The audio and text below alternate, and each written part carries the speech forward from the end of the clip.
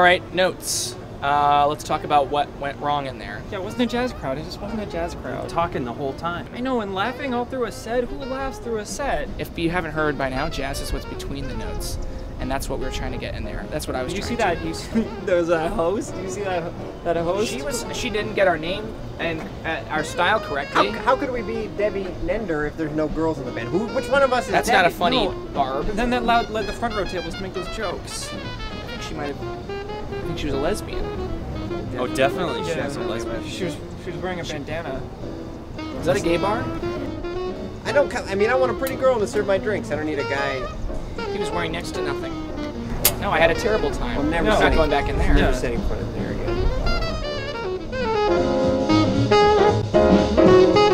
You guys want to get something to eat? The smell that paints me. You want to go back inside and get food? Yeah, yeah, let's go back. In. There was a giant pretzel in there. I think it was real.